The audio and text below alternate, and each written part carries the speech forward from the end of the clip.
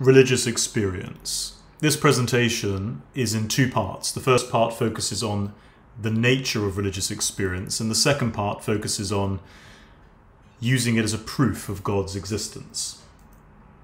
Religious experience, by definition, could be considered an experience of some ultimate reality, or a divine being we call God. This would be an all powerful, perhaps an ineffable being. Ineffability is a term we're going to come across shortly, but it means that you can't really put and articulate into words um, the being itself or the experience. Well, religious experience can be divided into two different categories. The first are direct experiences, so contact with God directly or with an ultimate reality.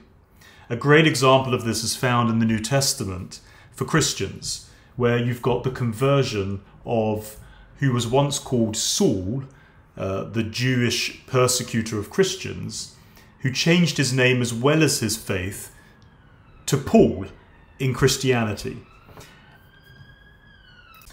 Another good example of this would be the revelation of the Quran to the Prophet Muhammad, a direct encounter with God.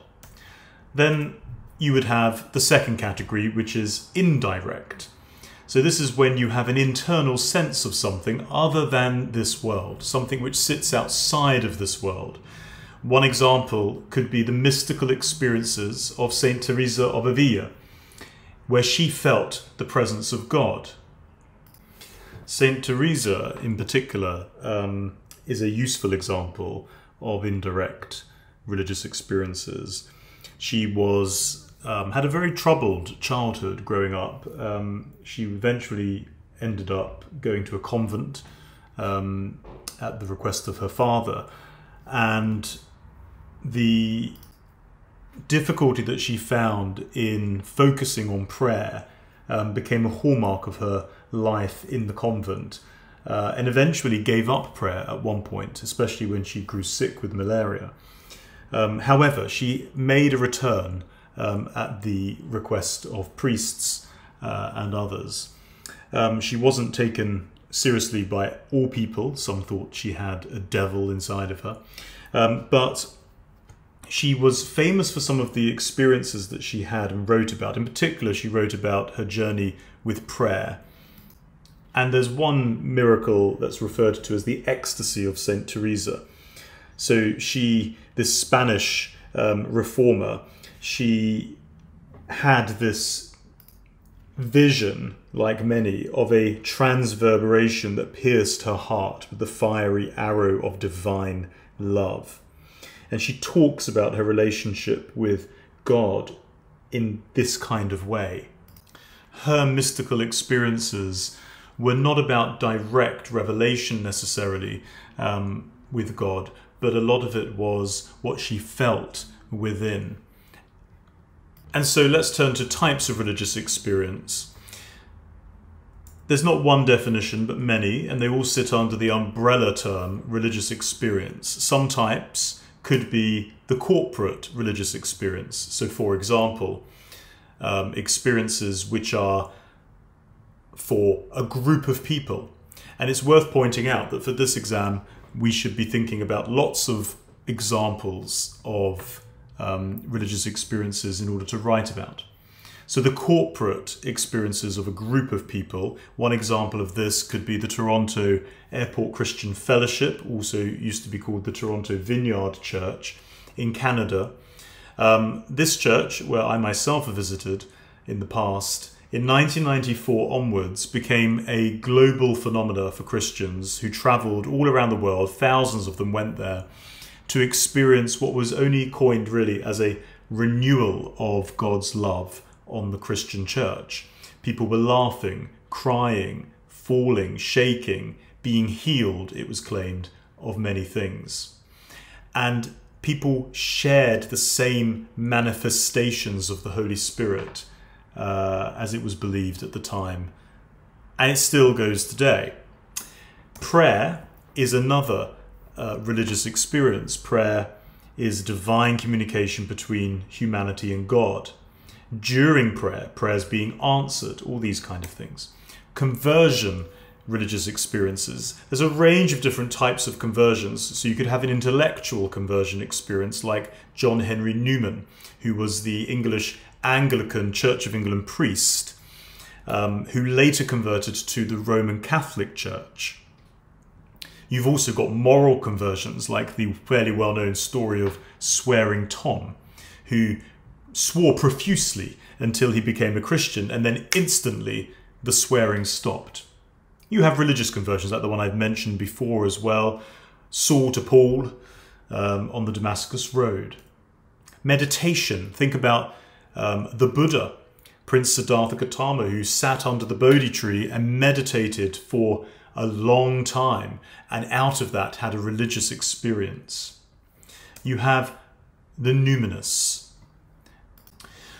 This is the um, feeling of something holy or something other than so you or something beautiful that might move you so you could walk into a space could be a church a mosque or uh, a religious sacred space of some kind doesn't have to be religious and you might have that indwelling feeling of something which is outside of this world hitting you um, it could simply be looking at a beautiful field uh, and being awestruck then there are visions. Visions can be open or closed. So you can have a vision with your eyes wide open uh, and you can see something. Maybe it's a vision of Jesus uh, or a vision of Mary, as often has been in the Catholic Church.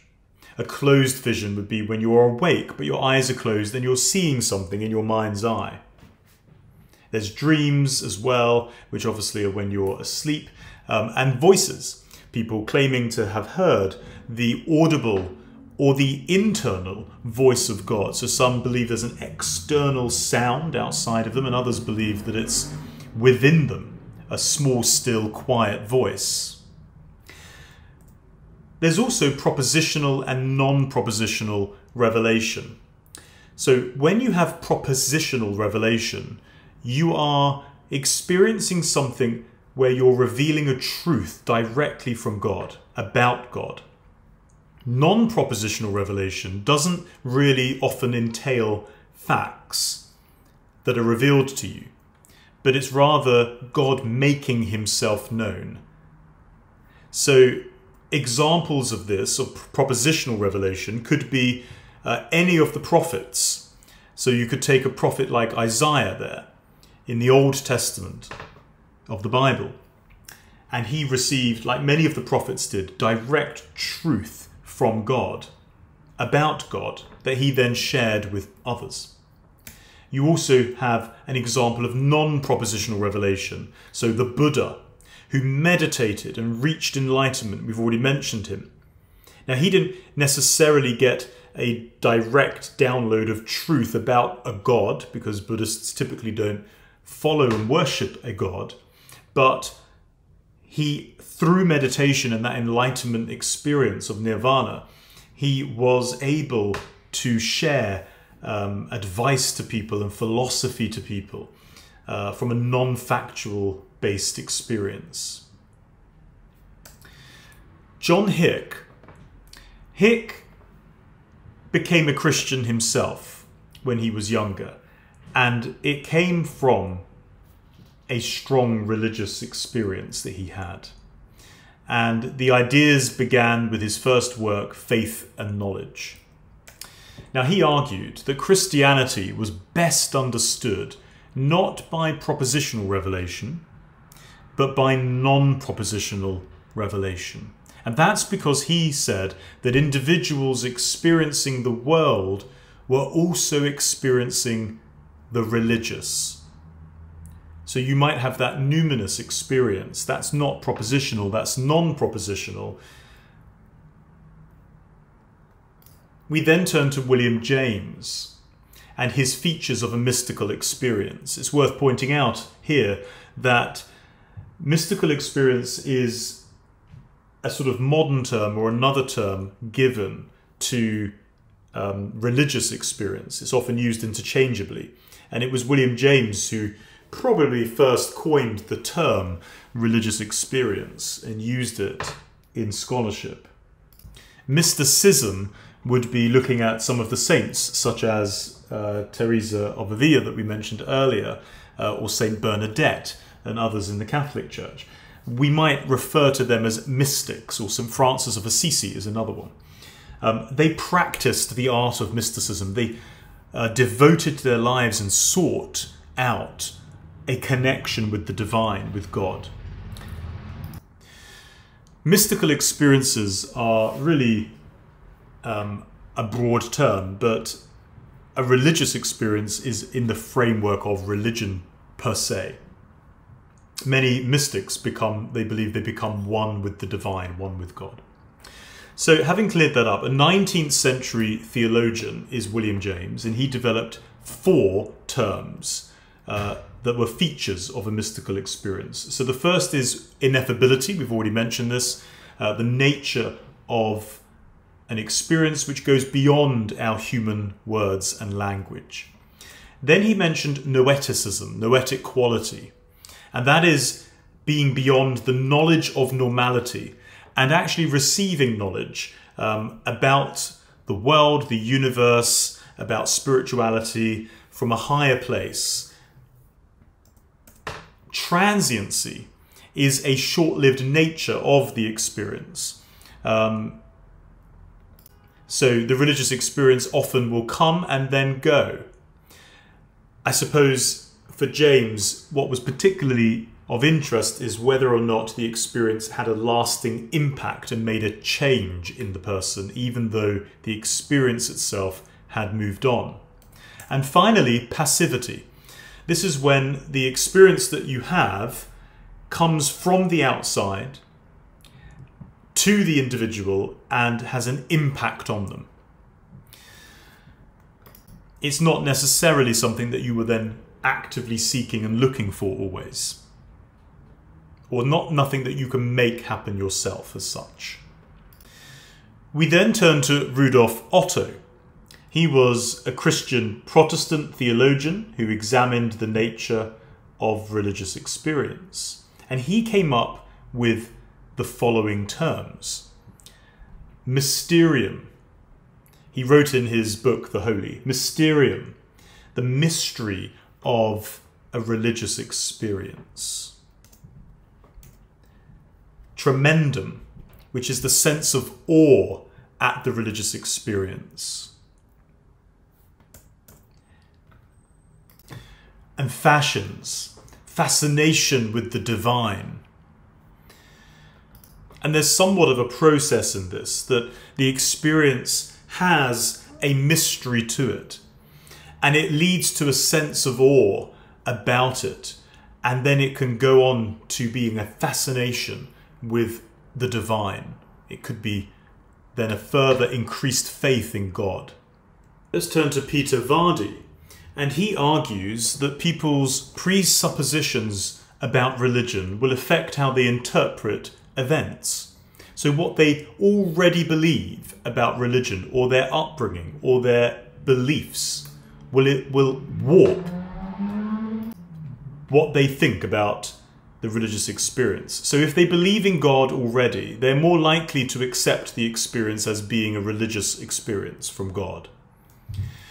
And this raises a question at this point, which is whether or not the religious experiences that one has are subjective or objective.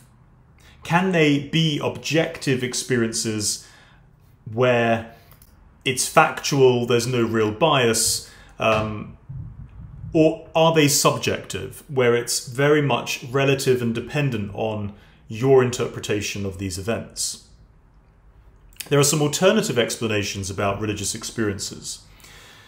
So they could arise from a social um, rather than religious factor. So you might refer to group hysteria, uh, like the Toronto uh, church that I mentioned earlier, with the corporate religious experience, you might argue that that is a form of hysteria during religious worship, that people coming together doing this emotional um, thing in a service where the music is playing and there might be somebody praying at the front or talking softly, and that could lead to, or someone speaking loud and fast, could lead to a form of group hysteria. Others might point towards the fact that they take the form of religions that they already are familiar with. So, in other words, their upbringing could be an explanation for why they've had this experience. Sigmund Freud, the famous psychologist, offered a psychological explanation, and he called religion, in not so friendly terms, a neurosis, um, effectively arguing that you're having a mental episode. It's a form of mental illness or derangement. And therefore, religion and God are a creation of your mind. And it's not something you can claim to be objectively true. You might go as far as to say that someone's religious experience is simply an hallucination. Well, let's move to the second part of this topic, which is using religious experience as a proof, considering those types and those features and those examples with a couple of those question marks around objective subjective distinction there, um, or whether it's something uh, that can be considered uh, real um, as happening, or whether it's a hallucination of the mind.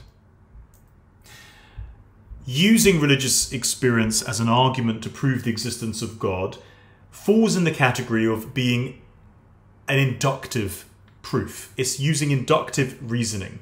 And so it's an argument of induction. If I experience God through induction, then, like with other inductive experiences that I have, I can generally conclude that God exists. And so, a classic inductive proof of religious experience can be set out like this Premise one experience of X, whatever that is, indicates that X exists. Premise 2, God can be experienced. And so premise 3, experience of God indicates that God then exists. In conclusion, God exists.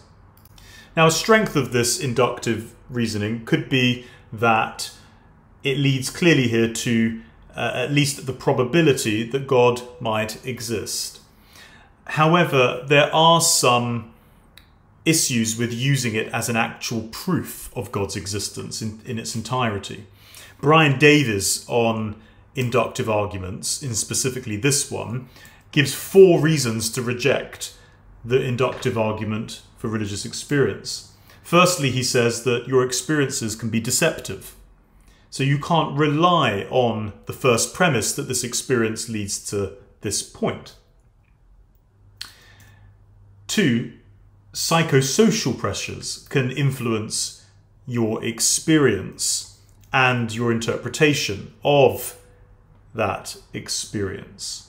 So, similar to what we mentioned before, social um, and upbringing. There's no way, he says, of verifying the truth of the experience that would link us nicely to another topic, which I will share on religious language, the verification principle.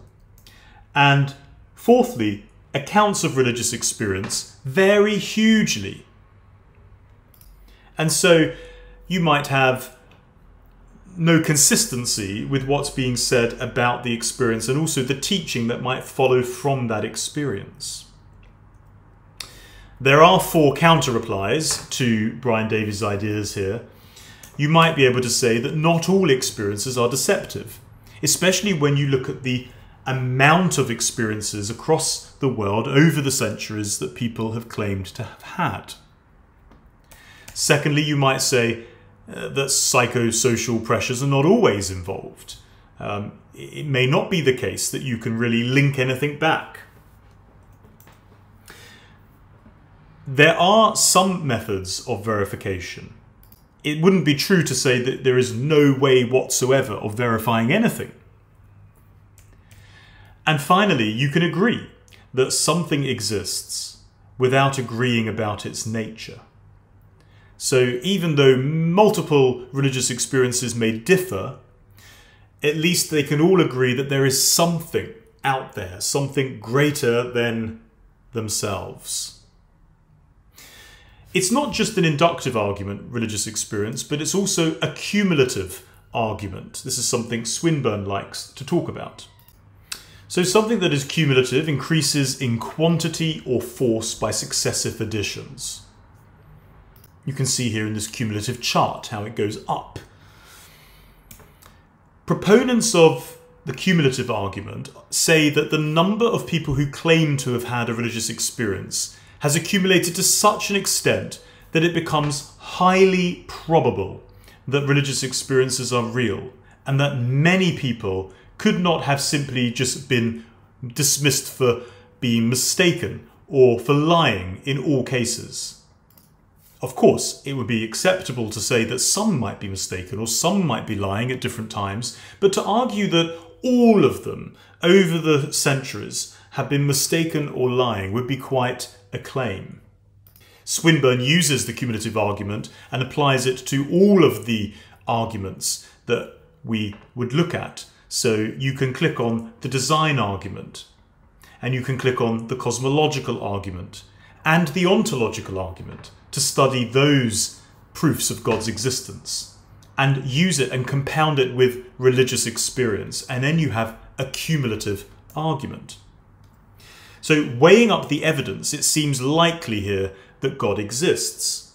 The weight of testimony of people's stories is in believers' favour, in those who believe in God. The problem, however, with this argument is that, unlike the inductive argument, it's not seeking to prove that God exists Swinburne uses the cumulative argument to prove the existence of God, but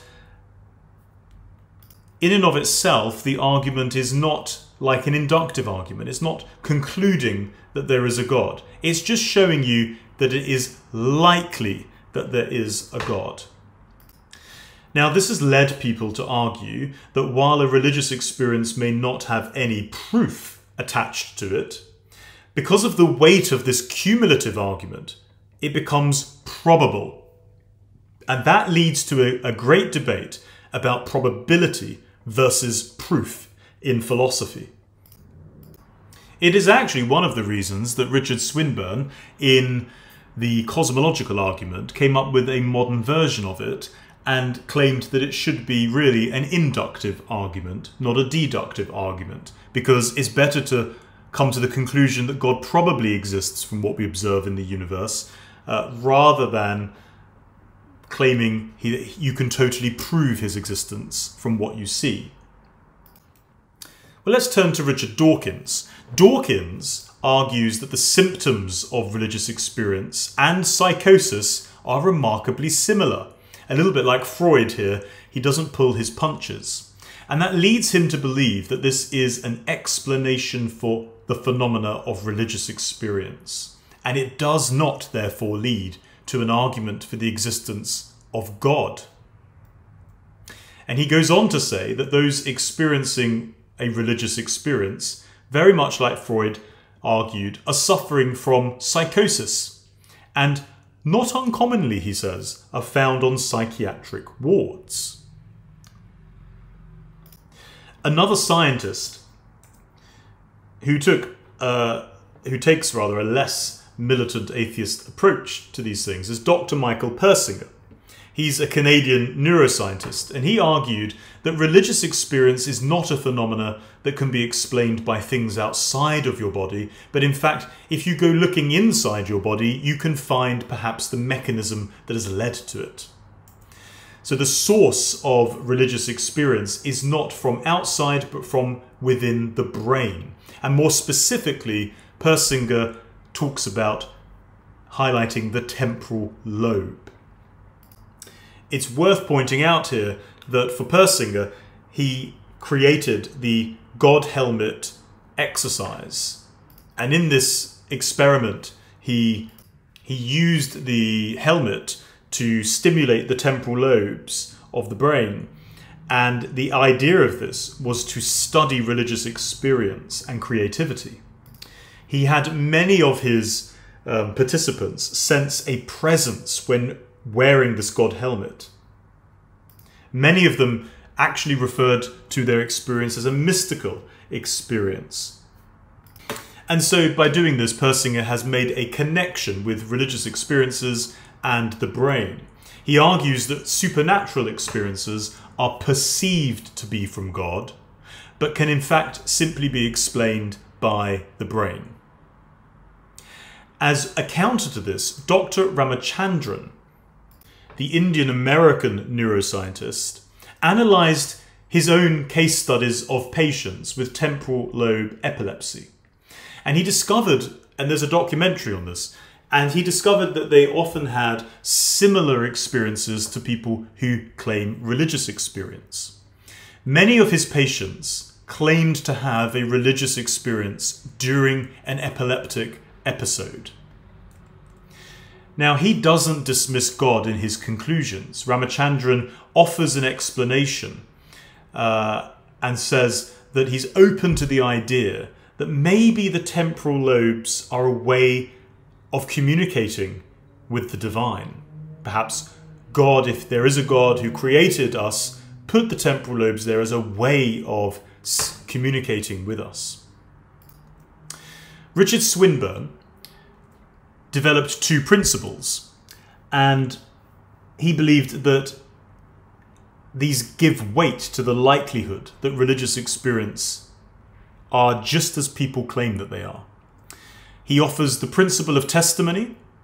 So, this is in reference to people telling you their story, their testimony.